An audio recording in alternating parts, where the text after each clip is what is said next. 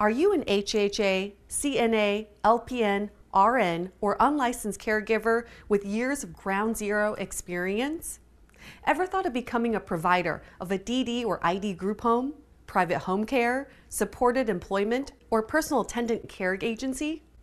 Well, if you are in this industry, you certainly work hard, and your hard work should be rewarded. Nursing and behavioral health services specialize in helping caregivers become providers of their own agency. That's right, as a caregiver, your experience and credentials count, and we can show you exactly how. With over 20 years of industry experience, our team can help you turn in those keys and badges, swipe that time clock for that very last time, surrender your entire office, and obtain license and certification of your own personal care business. Now, how does that sound?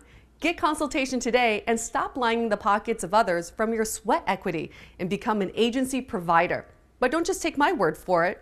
Click the link below and let successful entrepreneur, RN, and healthcare consultant Mr. Ernest G. Flagg tell you himself.